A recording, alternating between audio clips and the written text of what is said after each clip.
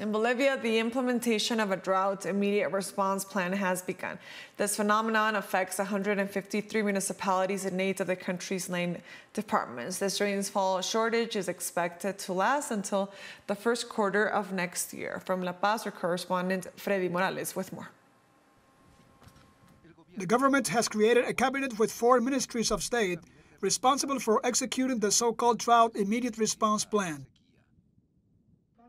There is going to be rainfall, but it will be scarce, and in many municipalities it will be quite scarce, which will cause a drought and will have an impact on production and also on food security. Comrades, in this sense, the president has formed a cabinet for this emergency, the cabinet to fight against the drought.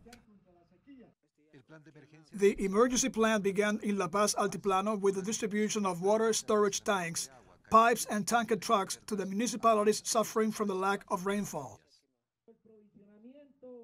with the supply of water for human consumption, water for irrigation, water to recover the production, brothers and sisters of a Bolivian altiplano, and also water for animal consumption and for our livestock activities.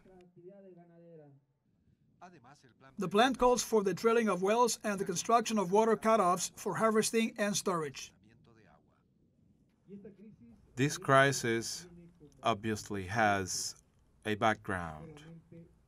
Not only the consequences of an excessive deforestation, but also the global phenomenon that is part of a merciless capitalism that in the name of globalization, in the name of the use and abuse of our natural resources is affecting the environment.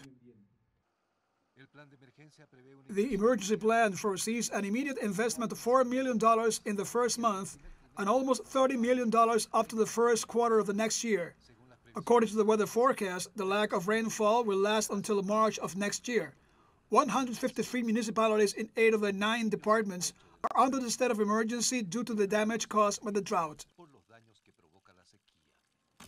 Freddy Morales, Telesur, Bolivia.